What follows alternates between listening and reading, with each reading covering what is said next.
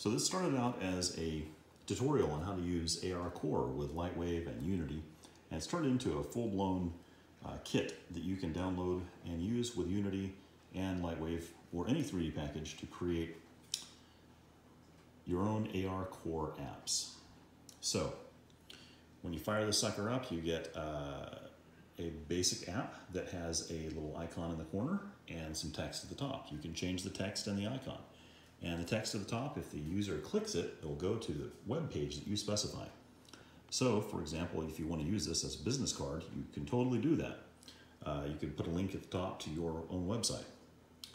I'm going to click that little icon down in the corner, and it's going to give us three buttons. The first one is placement, the second one is rotation, and the third one is scaling. I'm going to click on that placement, and now click on the ground somewhere. And as you can see, there's no object here. Click. And there it is.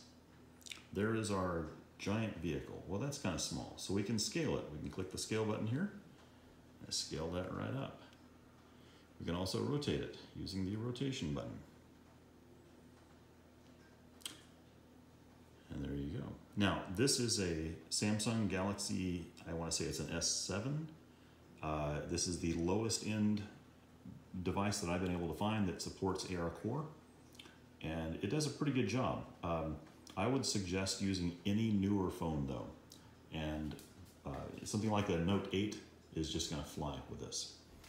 Okay, so as you can see, it's tracking the ground. If we move the camera away, we move it back, it'll try to place it back on the ground.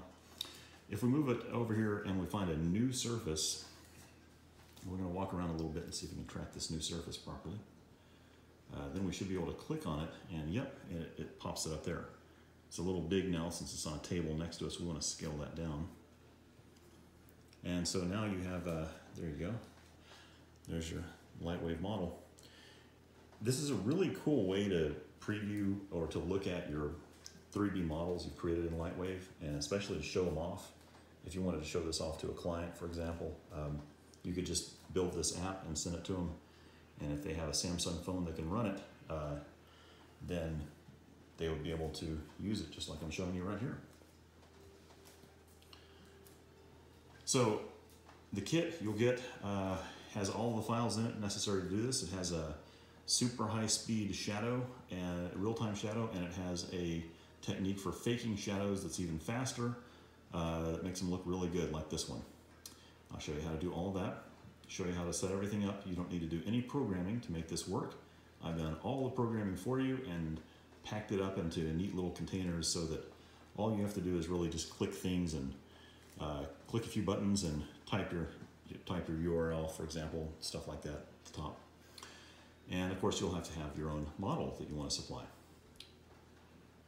But that's it, and you can build your own app. Uh, you can build an app for every model that you have if you wanted to. Um, you can send these to people as business cards, or you can even stick it on the, the Google Play Store if you really want to show off the stuff you've done.